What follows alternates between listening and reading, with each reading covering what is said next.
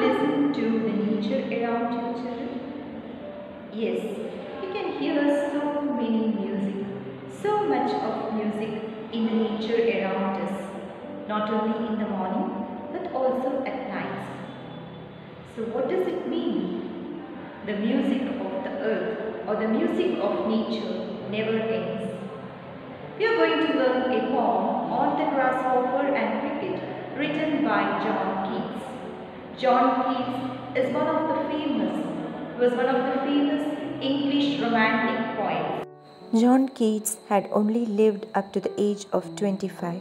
He has written many sonnets, odes, and epics. A sonnet is a poem of 14 lines. On the grasshopper and cricket is a poem of 14 lines with one octet 8 lines and one sestet 6 lines. On the grasshopper and cricket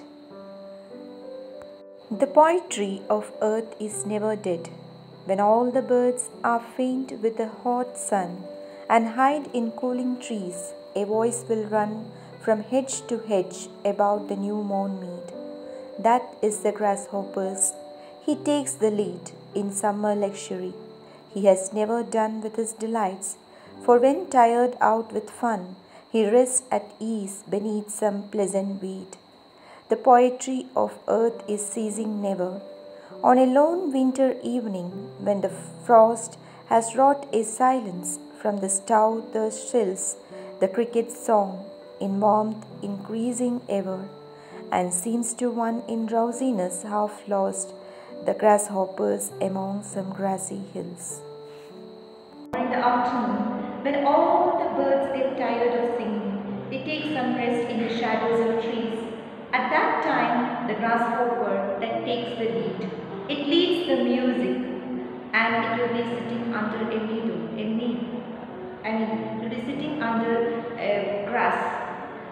Like that, in the night time, when every bird it is silent, who takes the lead? The cricket takes the lead.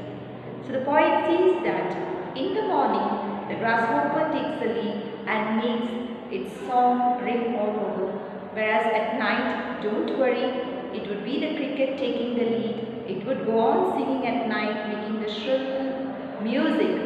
Whereas it will, you, those who are sleeping, they will think, those who are in a drowsiness, they will feel that it is actually the grasshopper that is making, singing the song. But it will be actually the cricket. So that is what the poem means on the grasshopper and the cricket. It just or the poet just wants us to tell that the poetry of earth never ceases, never stops.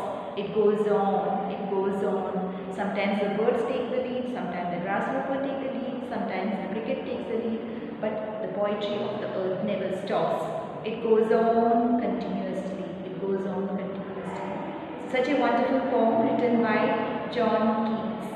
Hope you understood the poem children. Thank you.